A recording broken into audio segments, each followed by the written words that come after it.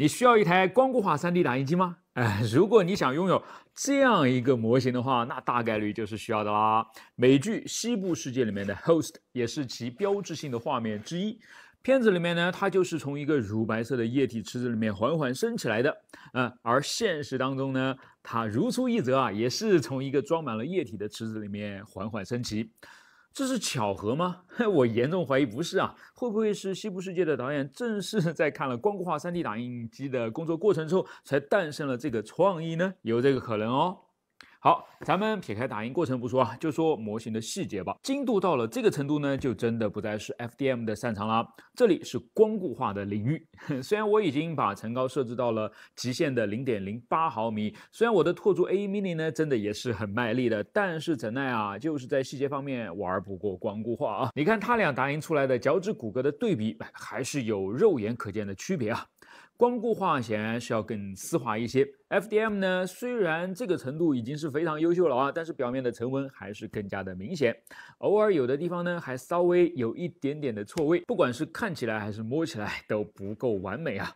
对了。请你忽略这个脚趾头上面的拉丝啊，它主要是因为我没有对线材进行有效的防潮导致的，不怪 3D 打印机啦。另外，虽然不管是光固化还是 FDM，在打印这个模型的时候呢，都是需要支撑的，而且拆除它们的支撑都不是一件让人愉快的活儿。但相比起来啊，至少在拆完光固化的支撑之后呢，这根极其脆弱的腿骨还能够保持完整，而 FDM 恕我手残，要是它不骨折，那我就得骨折了。所以你看到了吧？要是你想打印的都是这类极其精致。的手办的话，那光固化就是更为明智的选择了。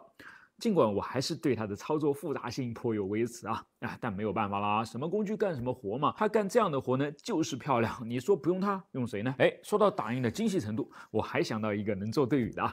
前段时间我做的迫击炮炮弹的模型，顶上的风帽是要通过螺杆装到引信上面的。我之前用 FDM 来打印，为了让螺纹有更高的精度，以便在拧进去的时候更加的顺滑，我也是直接用上了最小的层高和最慢的打印速度。但即便是这样，呢，效果也不是太理理想啊。那咱们试试光固化行不行？哎，你别说啊，的确是要顺滑一些哦。看来打印精度还得是光固化，但如果我们从精度切换到强度，那必须就是 FDM 的战场啦。它不光是可选择的材料比光固化树脂多了太多，而且个个都能打。哎，这个啊咱们就真的没啥对比的必要了啊。很多博主都已经做过了。于是呢，我们今天就来到了最后的一个话题。如果你真的是需要一台光固化，那该怎么选这台光固化呢？我只有一个建议啊，就是选台大的。为什么呢？因为你都用这么麻烦的光固化了，小的也麻烦，大的也麻烦，反正都是一样的麻烦，那干嘛不用大的呢？至少在麻烦完之后，收获可以更多啊！而且大才能够体现出它的优势，速度上的优势啦。这得益于光固化的工作原理。它是通过这个屏幕来让与之接触的最底层同时曝光的，从而固化曝光之后的数值。这就意味着啊，你在最底层上面是曝光一个点，还是曝光一整面，所用的时间都是一模一样的。这多少有点作弊的感觉啊！要是用 FDM，我打一个零件需要一份时间，如果我要打十个呢？哎，就得需要十份的时间。